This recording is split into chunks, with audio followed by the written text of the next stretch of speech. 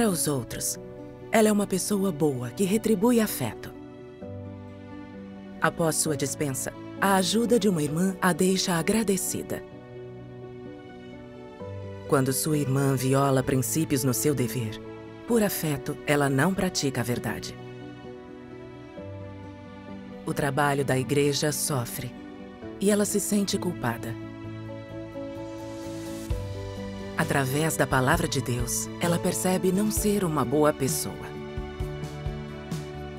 Ela se lamenta e jura se arrepender. Ao agir conforme os princípios, finalmente se liberta.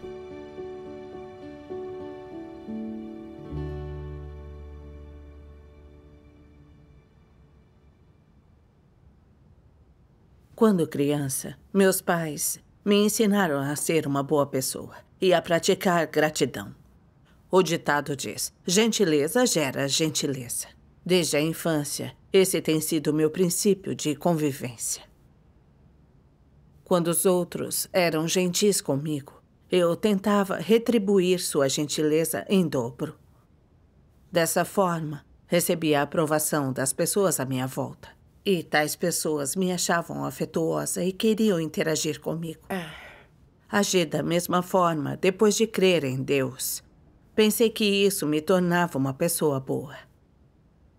Por meio das circunstâncias que Deus arranjou para me expor e por meio de sua palavra, percebi que os pensamentos tradicionais não são a verdade, nem o critério de como agir e nos portar. Hum, certo. Então, qual foi sua experiência? Conte-nos. Fale pra gente. Ok. Ah, em setembro de 2018, fui dispensada como líder por não fazer trabalho prático.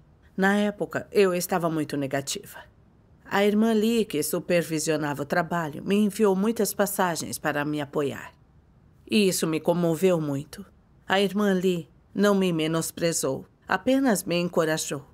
Depois disso, a irmã Lee me arranjou trabalho. Ela cuidou de mim e teve iniciativa de perguntar o que achava sobre questões no nosso dever. Quando vi que a irmã Lee me prezava, senti uma gratidão ainda maior por ela.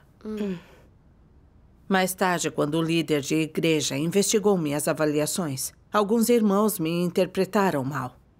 E a irmã Lee, que conhecia o incidente, esclareceu os fatos na hora. Por isso fiquei ainda mais grata a ela, pois achei que ela me defendeu num momento crítico e salvou a minha imagem. Embora não lhe agradecesse verbalmente, eu sempre quis ter a chance de expressar minha gratidão. Não demorou e ela foi dispensada por não fazer trabalho prático e fui selecionada líder. Ao acompanhar o trabalho da irmã Lee, descobri que ela se distraía e esquecia coisas em seu trabalho. Em tom gentil, eu lhe perguntei: Irmã Lee, por que é tão desleixada no seu dever? Ao ouvir isso, em vez de refletir sobre si, ela disse: Eu sou velha e tenho memória ruim. Depois, minha parceira viu que a irmã Lee continuava desatenta no dever e falou com ela sobre isso. No entanto, ela não mudou. Cumprir o dever desse jeito só pode impedir o trabalho. Sim, também percebi isso. E quis esperar a hora certa para apontar isso. Lembrei-me de que, quando fui dispensada, eu estava no estado ruim. E ela me ajudou e apoiou com muita delicadeza. Agora ela tinha sido dispensada. Então ela não me acharia muito cruel se eu apontasse os problemas dela? Ela havia acabado de ser dispensada estava mal. Seus erros eram justificáveis. Eu devia ajudá-la com amor e dar-lhe tempo para mudar as coisas. Depois disso, quando a irmã Lee não fazia o trabalho corretamente, minha parceira e eu fazíamos por ela. Temia que ela esquecesse algo. Por isso perguntava seu estado com frequência. Ela conseguiu mudar o estado dela? Conseguiu? Nem um pouco. Na verdade, piorou. Nas discussões sobre o trabalho, suas sugestões estavam fora dos princípios. E a maioria dos irmãos não aprovava. E ela insistia no seu ponto de vista e forçava a aceitação. O que praticamente impedia a continuidade das discussões. Ela já estava impedindo o trabalho. Você comungou com ela para expor os problemas? Sim. Eu queria muito lembrá-la. Mas pensei também que ela não estava bem por ter sido dispensada recentemente. Se eu expusesse os problemas dela agora, isso não seria enfiar o dedo na ferida? Deixei passar, esperando que ela percebesse sozinha a tempo. Com isso em mente, não a lembrei mais. Só tentei garantir que se envolvesse menos em discussões. Hum. Em vez de refletir sobre si mesma, ela me atacou indiretamente, dizendo que eu não a ouvia. Quando vi que ela não tinha autoconhecimento, resignei-me e devolvi a acusação. Disse, irmã Lee, você é arrogante e hipócrita. Deveria refletir sobre si mesma. Ela conseguiu aceitar? Eu vi que ela fechou o rosto e a voz baixou. De repente, fiquei triste. Eu tinha exagerado ao tratá-la assim. Depois de toda a ajuda que tinha recebido dela, eu estava sendo cruel demais. Então comecei a me culpar. Ah, a irmã Lee era superficial no dever e arrogante demais. Ao expor e repreender a irmã, você a ajudava. Sim. Certo. Na época, só queria manter minha relação com ela. Por isso fiquei constrangida. Alguns dias depois, o supervisor viu que o trabalho da irmã Lee estava sendo feito por mim e a minha parceira, e nos perguntou como a irmã Lee ia no dever. A pergunta me deixou ansiosa. Se eu falasse honestamente sobre o estado dela, ela poderia ser transferida. Eu só fazia trabalho administrativo porque ela o tinha arranjado. Ela me tratava bem e me ajudou num momento crucial. Se ela fosse dispensada comigo sendo líder, ela pensaria que eu era cruel e impiedosa demais? Para proteger o trabalho dela, depois de descrever o comportamento dela, eu acrescentei: esses comportamentos se devem ao estado ruim dela após ter sido dispensada. Ela está tentando mudar. Para impedir que ela fosse dispensada, em várias reuniões eu comunguei para ajudá-la com o seu estado. Infelizmente, continuou superficial e sempre havia problemas no seu dever. Houve uma vez em que ela comprou itens desnecessários sem consultar ninguém. E o preço era mais alto do que o normal. Ah, ela era arbitrária demais. Certo. Fiquei muito irritada e quis lidar com ela. Mas por nossa relação passada, eu me controlei. Mandei que tomasse mais cuidado e não fizesse mais isso. Ela concordou e eu não falei mais nada. Na época, os irmãos ficavam me falando sobre problemas no trabalho dela. Eu queria lidar com ela. Mas quando a encarava, eu não abria a boca. As palavras quase saíram, mas eu as engoli. É irresponsável importar-se apenas com os sentimentos e não com o trabalho. Sim, É, sim. exatamente. Mais tarde, a supervisora veio investigar a irmã Lee no seu dever. Ela avaliou com base nos princípios com os outros que a irmã Lee era inapta para o trabalho e me urgiu a dispensá-la. Ótimo. Mas a irmã Lee tinha sido dispensada como a responsável. Como suportaria o golpe se fosse removida desse dever? Ela suportaria isso? Nesse momento, me lembrei de todas as vezes em que ela me ajudou no passado. Nesses dias, quando pensava em encará-la, eu me deprimia. Durante várias noites, não conseguia dormir. Fiquei triste, como quando eu fui dispensada. Não conseguia parar de pensar. Ela já foi gentil comigo, mas agora devo dispensá-la pessoalmente e expor o comportamento dela. Ela pensará que sou uma pessoa ingrata e ficará ressentida? Para evitar me culpar, queria que a supervisora comungasse com ela, para eu poder ficar atrás dela, calada ou até nem aparecer. Você queria fugir. Certo. Mas eu sabia que esses motivos eram desprezíveis e vergonhosos. Por isso fiquei nesse dilema. Triste, eu orei a Deus. Eu disse: Deus, sei que é correto dispensar a irmã Lee, mas por que isso é tão difícil para mim? Deus, qual é o meu problema? Por favor, guia-me a me conhecer. Depois de orar, eu me perguntei: quando eu dispensava os outros, não era tão difícil.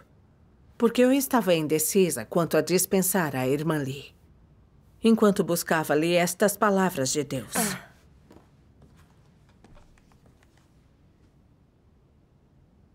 Algumas pessoas são extremamente sentimentais.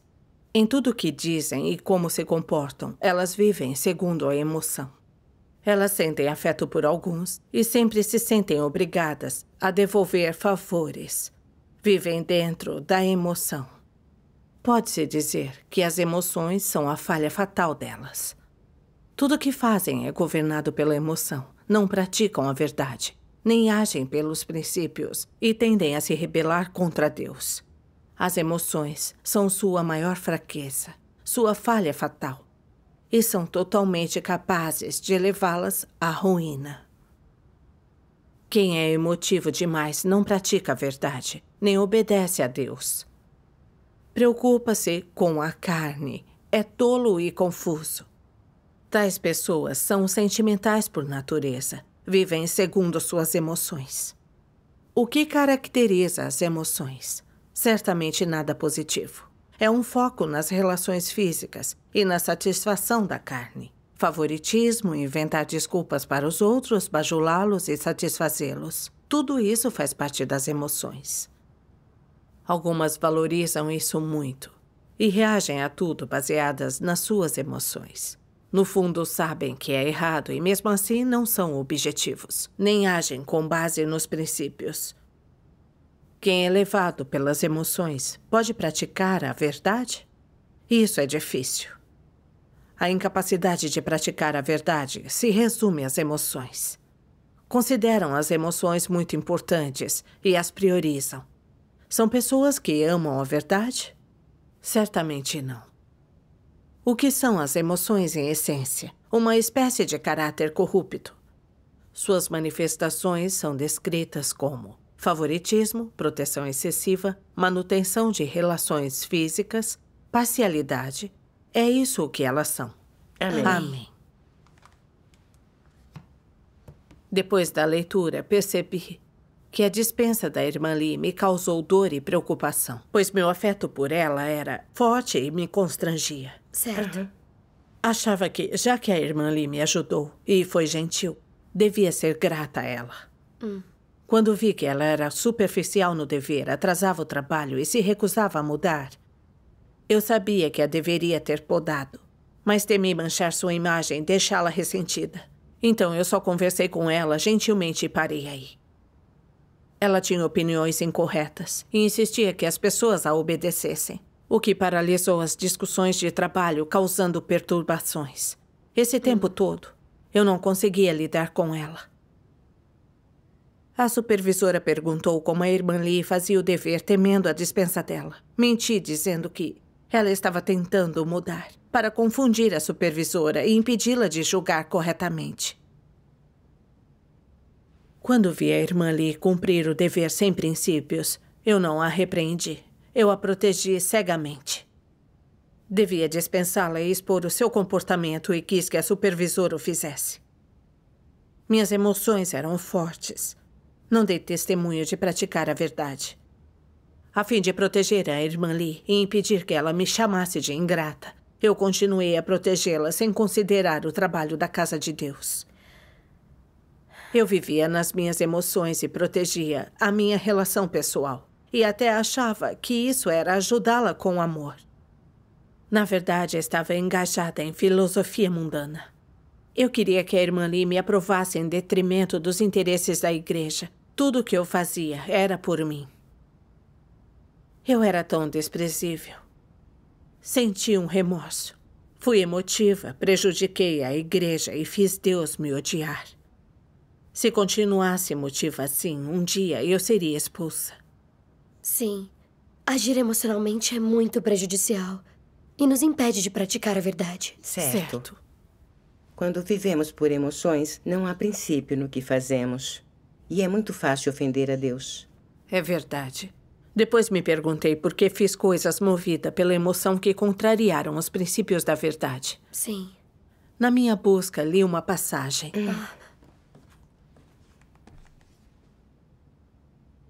As motivações são uma parte clara do estado das pessoas e uma das mais comuns. Na maioria das questões, as pessoas têm os próprios pensamentos e motivações. Quando tais pensamentos e motivações ocorrem, as pessoas os consideram legítimos. Na maioria das vezes, eles são para o seu bem, para o seu orgulho e interesses. Ou então para encobrir algo, ou para elas se satisfazerem. Em tais momentos, você deve examinar como surgiu a sua motivação e o que a produziu. Por exemplo, a Casa de Deus lhe pede que faça o trabalho de purificar a igreja e uma pessoa sempre foi descuidada e evasiva no dever. Conforme os princípios, ela deveria ser afastada, mas você se dá bem com ela. Que tipos de pensamentos surgirão em você? Agir conforme minhas preferências. E o que produz essas preferências? Visto que essa pessoa foi boa ou fez coisas por você, você tem uma boa impressão dela. E por isso você quer protegê-la e defendê-la. Isso não é efeito das emoções? Você se emociona e usa a ideia de que autoridades têm políticas, as localidades contramedidas. Você faz um jogo duplo. Por um lado, você lhe diz: esforce-se um pouco mais. Deixe de ser descuidada. Sofra adversidade. Esse é o nosso dever.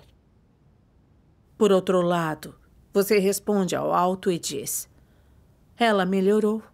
É mais eficaz agora quando cumpre o dever. Mas o que você pensa é: Isso é porque eu trabalhei nela. Senão ela ainda seria como era. Na sua mente você pensa: Ela foi legal comigo. Não pode ser expurgada. Que estado é esse quando tais coisas estão no seu coração? Isso é prejudicar o trabalho da igreja, abandonando os princípios da verdade e protegendo laços emocionais. E a obediência quando você faz isso? Não. Uhum. Não há obediência, há resistência no seu coração. Quando você tem as suas ideias e faz julgamentos subjetivos sobre coisas e o trabalho que você deve fazer, Há fatores emocionais misturados a isso. Você está agindo com emoção e ainda assim acredita que está sendo imparcial, que dá às pessoas ajuda e a chance de se arrependerem. Assim você faz o que quer e não como Deus diz. Trabalhar assim é desvalorizar o trabalho. Isso reduz a eficácia e prejudica o trabalho da igreja que é o resultado de agir pela emoção. Sem refletir sobre isso, você identificará o problema aqui? De jeito nenhum. Talvez saiba que é errado agir assim, que isso é desobediência. Mas você diz a si mesmo: devo ajudar com amor. Depois de melhorarem, não precisarão ser expurgadas. Deus não dá às pessoas a chance de se arrependerem? Deus ama as pessoas, por isso devo ajudá-las com amor. E devo fazer o que Deus exige. Depois de pensar nisso, você faz as coisas à sua maneira. Mais tarde, seu coração se acalma. Você acha que está praticando a verdade. Durante esse processo, você praticou de acordo com a verdade ou agiu de acordo com as suas preferências e motivações? Você agiu conforme suas preferências e motivações. No processo todo, você usou os assim chamados amor e bondade, bem como as emoções e filosofias mundanas, para suavizar as coisas e ficar em cima do muro. Parecia que estava ajudando com amor, mas na verdade estava controlado pela emoção. E temendo que o alto descobrisse, tentou conquistá-las, com acordos para não ofender ninguém. E o trabalho ser feito. É assim que os incrédulos ficam em cima do muro. Amém. É, Deus expressou as coisas claramente. A essência e o fato daquilo que fazemos são claramente expostos. Certo. Manter relacionamentos por meio das emoções só é proteger nossos interesses. Se Deus não revelasse isso, nós não saberíamos essas coisas. Certo. Verdade. Só percebi isso após ler a palavra de Deus. Por que eu não expus a irmã Lee, mesmo sabendo de seus problemas? porque eu queria que ela me aprovasse. Na verdade, eu era controlada pela ideia de retribuir gentileza com gentileza. Eu usava essa ideia como meu princípio de interação. Acreditava que as pessoas deviam ser afetuosas e leais. Se fossem gentis comigo, retribuiria em dobro. Se não, eu seria ingrata e deixada de lado pelos outros. Sim. Então, quando a irmã Lee me ajudou e cuidou de mim, e quando ela me defendeu, achei que devia retribuir. Quando vi que a irmã Lee era sempre superficial no dever, prejudiquei os interesses da igreja para não lidar com ela. E continuei cegamente, oferecendo amor e comunhão para ajudá-la. E menti e enganei para encobrir que ela perturbava o trabalho da igreja. Eu fiz isso para fazer as pessoas pensarem que eu era boa, grata e gentil. Por meio da palavra de Deus, eu vi que essas ideias só confundem e corrompem as pessoas. Eu vivia segundo essas coisas, sem discernir certo do errado e sem princípios. Por fora estava cumprindo meu dever. Na verdade, eu só fazia minha vontade, sem obediência a Deus. Eu até obstruí o trabalho da igreja sem nem perceber. Sim. Se acreditamos em Deus, mas não praticamos a verdade, não importa o nosso comportamento e como convivamos com os outros, aos olhos de Deus ainda resistimos a Ele. Certo. Uhum. Só então ganhei discernimento desses pontos de vista satânicos e desprezíveis. Eu vi que todas essas coisas são de Satanás e contrariam a verdade. Sim. Estão contaminadas por interesses e desejos e são malignas. Não deveriam ser os critérios para minha conduta. Uhum. Alguns dias depois, vi outra passagem e ganhei um entendimento dessa questão. Uhum.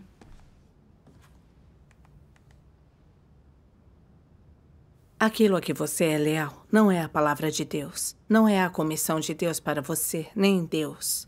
É filosofia satânica para a vida e lógica satânica. Você acredita em Deus ao mesmo tempo em que trai Deus e a sua palavra. Isso é um problema sério. Isso não é apenas deixar de cumprir a palavra de Deus e seus deveres. É tomar a filosofia e os esquemas de Satanás como se fossem a verdade, segui-los e praticá-los. Você não está obedecendo a Satanás e vivendo segundo uma filosofia satânica? Assim você não obedece a Deus, muito menos às suas palavras. Você é um patife. Deixar de lado as palavras de Deus e tomar uma frase satânica e praticá-la como verdade é trair a verdade de Deus. Você trabalha na casa de Deus, mas age segundo a lógica e a filosofia satânicas de vida. Que tipo de pessoa é? É alguém que trai a Deus e o envergonha gravemente. Qual é a essência desse ato? é condenar abertamente a Deus e negar a verdade. Não é a essência dele? Além de não seguir a vontade de Deus, está permitindo que as falácias de Satanás e as filosofias satânicas corram soltas na igreja. Assim você se torna cúmplice de Satanás e ajuda as ações dele na igreja. A essência desse problema é séria, não é? Amém. Amém. As palavras perfuraram o meu coração. Quando ele disse um patife, trair a verdade, alguém que envergonha Deus e cúmplice de Satanás. Essas palavras perfuraram meu coração como espadas afiadas. Eu vivia pelas ideias da cultura tradicional. Não eram só emoções que impediam a prática da verdade e a proteção dos interesses da igreja. Era ser infiel a Deus e ao meu dever. Era negar a verdade e envergonhar a Deus. A natureza disso era séria. Sim. Quando percebi isso, fiquei muito angustiada. Não sabia que cumprir o meu dever com pensamentos satânicos era um problema sério. Levei muito tempo para me acalmar. Mais tarde li outras duas passagens. Vamos assistir a um vídeo juntas? Ótimo. Ótimo.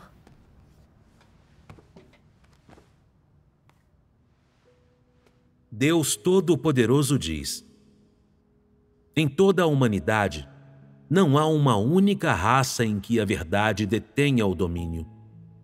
Não importa quão elevadas, antigas ou misteriosas sejam as ideias ou a cultura tradicional que uma raça produziu, ou a educação que lhe foi transmitida, ou o conhecimento que possui. Uma coisa é certa: nenhuma dessas coisas é a verdade, nem tem qualquer relação com a verdade. Algumas pessoas dizem: alguns dos conceitos morais ou as noções para avaliar o certo e o errado, preto e branco, contidas nas noções tradicionais, parecem muito próximos da verdade. Por mais próximos que estejam da verdade, eles não são a verdade e não podem tornar-se a verdade. Não há dúvida disso. São próximas apenas em palavras e expressões humanas. Mas, na realidade, essas noções tradicionais são incompatíveis com as verdades das palavras de Deus. Embora possa haver alguma proximidade no sentido literal dessas palavras, elas não compartilham a mesma fonte. As palavras de Deus vêm do Criador, enquanto as palavras, ideias e visões da cultura tradicional vêm de Satanás e dos demônios. Algumas pessoas dizem: as ideias, pontos de vista e provérbios famosos da cultura tradicional são universalmente reconhecidos como positivos. Mesmo que sejam mentiras e falácias, poderão tornar-se a verdade se as pessoas os defenderem durante vários séculos, vários milênios? De modo algum. Tal ponto de vista é tão ridículo quanto dizer que os macacos evoluíram para os homens. A cultura tradicional nunca se tornará a verdade. Cultura é cultura, e por mais nobre que seja, continua sendo apenas algo relativamente positivo produzido pela humanidade corrupta. Mas ser positivo não é equivalente a ser a verdade. Ser positivo não faz disso um critério. É meramente relativamente positivo e nada mais.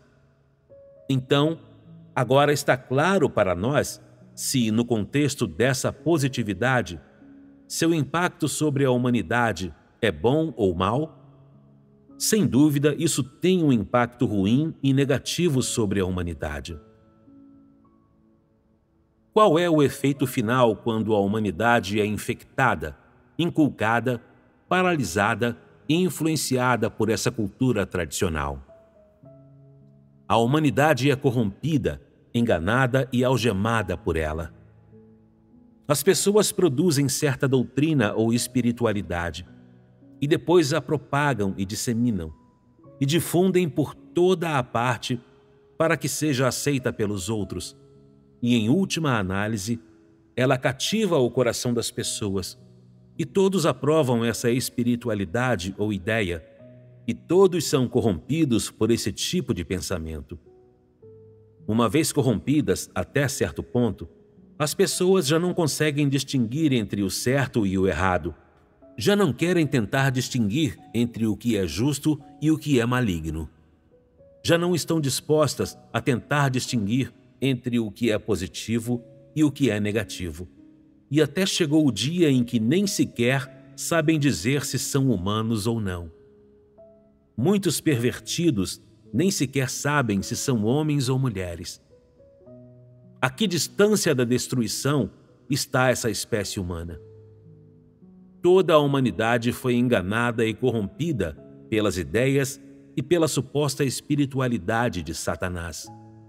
E qual é a extensão desse engano e dessa corrupção? As pessoas aceitam as palavras de Satanás como a verdade, adoram e seguem Satanás e não entendem as palavras de Deus e as palavras do Criador. Não importa o que o Criador diga, quanto o Criador fale, ou com que abrangência ou praticidade isso é afirmado. As pessoas não entendem. O que ouvem é incompreensível para elas. Elas estão entorpecidas e estúpidas. Seus pensamentos e cérebros foram embaralhados. Como foram embaralhados? Foram lançados no caos por Satanás. Satanás corrompeu completamente as pessoas. Amém. Satanás usa a cultura tradicional para corromper as pessoas. Essas coisas são como um veneno que nos impede de distinguir o certo do errado. Verdade. Sim. Eu sabia que cada um por si e o demônio pega quem fica por último. Eu reino soberano em todo o universo e outras filosofias satânicas são contrárias à verdade e a humanidade não as deveria possuir. Mas a cultura tradicional, que parecia estar alinhada com consciência e moral, como gentileza gera gentileza, pague as dívidas de gratidão. O homem não é inanimado. Como, não ter emoções? E outras morais de aparência nobre eu não conseguia discernir. Achava que eram passadas de geração em geração e que pessoas boas deviam seguir esses conceitos.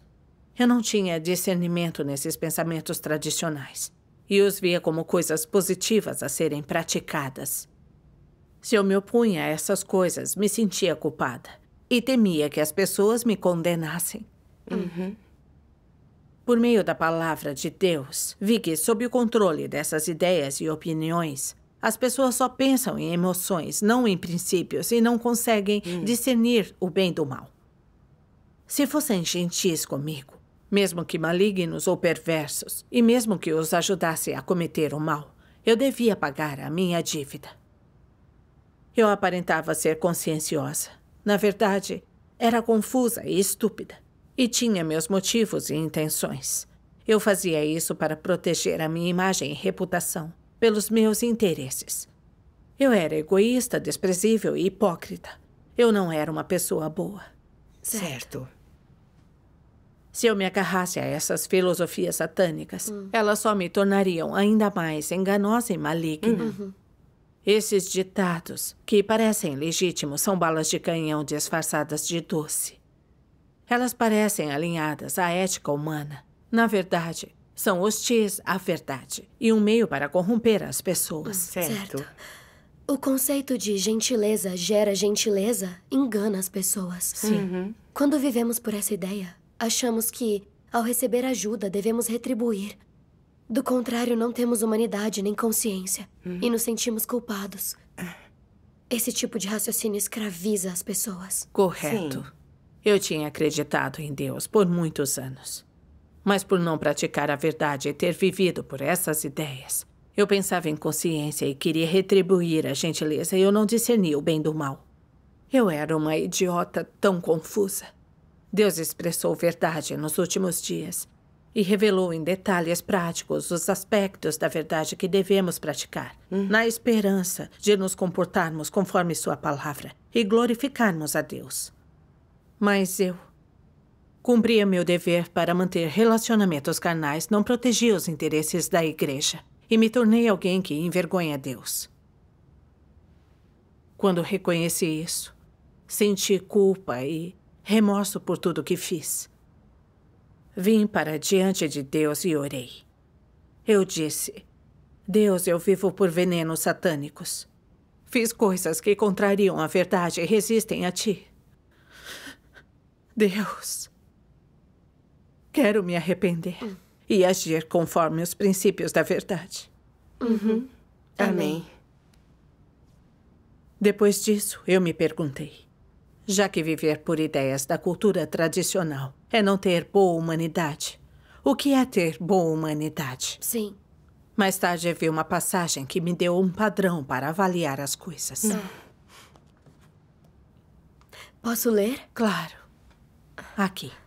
Obrigada. Há um padrão para a boa humanidade. Isso não é ser moderado, é descartar os princípios, tentar não ofender ninguém, bajular por toda parte, ser falso com todos e fazer com que falem bem de você. Esse não é o padrão. Então, qual é o padrão? É tratar Deus, as pessoas e eventos com um coração verdadeiro e responsabilidade. Isso é óbvio, cada um tem clareza sobre isso no coração. E mais, Deus conhece a situação das pessoas e sonda-lhes o coração. Não importa quem seja, ninguém pode enganar a Deus. Alguns sempre se gabam de ter boa humanidade, que nunca falam mal dos outros, nunca prejudicam os interesses de ninguém e alegam não cobiçar os bens alheios. Quando há conflito de interesses, elas preferem sofrer perda a se aproveitar dos outros, e todos pensam que elas são boas pessoas. Ao cumprirem seus deveres, elas são astutas, tramando para si mesmas. Elas nunca pensam nos interesses da casa de Deus, nem tratam como urgentes o que Deus trata como urgente. Nem pensam como ele, não colocam de lado seus próprios interesses para cumprir seus deveres. Elas nunca renunciam aos próprios interesses. Ao verem malfeitores, elas não os expõem, não têm princípios. Que tipo de humanidade é essa? Não é uma humanidade boa. Não ouça o que essa pessoa diz. Você deve ver o que ela vive, o que revela. Qual é sua atitude quando cumpre seus deveres. Uhum. E também qual é seu estado interior e o que ela ama. Se seu amor por fama e fortuna excede sua lealdade a Deus, se ele excede os interesses da casa de Deus, ou excede a consideração que demonstra por Deus, então tal pessoa possui humanidade? Isso não é alguém com humanidade. Amém. Amém. Amém. Hum. Depois de ler a passagem, entendi que alguém de humanidade boa não segue a senda de moderação para que ninguém se ofenda. Em vez disso, ela ama a verdade, ama coisas positivas. É responsável e protege o trabalho da casa uhum. de Deus. Pessoas assim são boas de verdade. Exatamente. Sim. Se você só protege suas relações com pessoas e seu status, e só tenta se dar bem, mas não é leal a Deus no seu dever, e mantém suas relações com as pessoas, mesmo prejudicando o trabalho, você é extremamente egoísta. Não importa se seu comportamento é aceitável. Ele engana as pessoas e é hostil à verdade. Certo. Refleti sobre como eu vivia por essas ideias tradicionais e me disfarçava como pessoa boa. Na verdade, eu só me tornava cada vez mais egoísta. Tudo o que fazia era para proteger status e para satisfazer meus desejos. Não havia nada de humano em mim. Tudo que eu vivia era demoníaco. Hum. Quando eu julgava se alguém tinha humanidade, me baseava nas minhas noções. Não estavam de acordo com a verdade. E não estavam alinhadas com os padrões de Deus. Sim. Eu achava que boa conduta externa era boa humanidade. Hum. Analisando agora, sei que os que amam e praticam a verdade são pessoas hum. com humanidade boa. Ah, certo. Hum. No decorrer dos dias, eu uhum. contemplei como praticar conforme os princípios da verdade. A palavra de Deus diz. Ah. Se você não se concentrar nos relacionamentos com as pessoas, mas mantiver um relacionamento com Deus, se quiser entregar seu coração e aprender a lhe obedecer, seus relacionamentos com todas as pessoas se tornarão normais. Dessa maneira, esses relacionamentos não são estabelecidos na carne, mas sim no fundamento do amor de Deus. Quase não há interações carnais, mas no espírito há comunhão, amor e conforto mútuos e provisão de um para o outro. Isso tudo é feito sobre o fundamento de um coração que satisfaz a Deus. Os laços não se mantêm confiando-se na filosofia humana, mas são formados naturalmente por carregar um fardo por Deus. Não requer esforço humano, só sua prática com os princípios da sua palavra. Hum. Relacionamentos normais entre as pessoas se constroem com base na entrega de seu coração a Deus, e não por meio de esforço humano. Sem Deus no coração, os relacionamentos interpessoais são meramente da carne. São uma indulgência à luxúria. São relacionamentos que Deus detesta, que odeia. Amém. Amém. Deus quer que tratemos a todos pelos princípios da verdade. Interajamos com nossos irmãos no amor de Deus. E apoiemos uns aos outros na vida, que não nos envolvamos em filosofias da carne. Sim. Sim. A irmã Lee me ajudou no passado, e isso foi arranjado por Deus, o amor de Deus. Eu devia ter recebido isso de Deus. Sim. Sim. Mas eu atribuí tudo isso a uma pessoa e demonstrei gratidão. Eu vi que a minha relação com a irmã Lee se baseava na carne que o que eu fazia não estava alinhado com a vontade de Deus e eu não tinha princípios. Uhum, certo. Na verdade, quando os outros encontram fracassos e se tornam fracos, comungar as palavras de Deus para os ajudar está de acordo com os princípios. Sim. Mas os que são sempre superficiais nos deveres e são irresponsáveis ou interrompem o trabalho da igreja deveriam ser tratados ou dispensados, jamais protegidos pela emoção. Devemos agir conforme os princípios. Certo. A irmã Lee foi irresponsável em seus deveres depois de dispensada e não tinha entendimento dos problemas dela. Se eu tivesse analisado seu comportamento e comungado para que ela refletisse sobre si mesma e se arrependesse, isso seria amor por ela. Eu a ajudaria e o trabalho da casa de Deus. Sim. Quando percebi isso, me senti livre e não quis manter minha relação carnal. Graças a Deus. Graças Graças a a Deus. Deus. Depois disso, usei a palavra de Deus para expor a atitude da irmã Lee e seus comportamentos e a dispensei do dever. Depois da comunhão, me senti segura. A irmã Lee não se ressentiu e aceitou isso de Deus. Ela disse que, se não fosse exposta, nunca perceberia que era capaz de perturbar. E ela não se queixou do tratamento. Isso é maravilhoso. Quando ela disse isso, eu senti de verdade que só podemos ajudar as pessoas se vivermos pela palavra de Deus. E me senti segura. Correto. Graças, Graças a a Deus. Deus. Em retrospectiva, vejo que as coisas civilizadas da cultura tradicional não são a verdade, apesar de as pessoas as Uhum. admirarem. São malignas e só prejudicam a nós mesmos. Certo. Só a verdade é o critério para nos comportarmos. Exatamente. Agradeço a Deus por esses ambientes para mudar meus pensamentos equivocados e pela salvação de Deus para mim. Graças a Deus.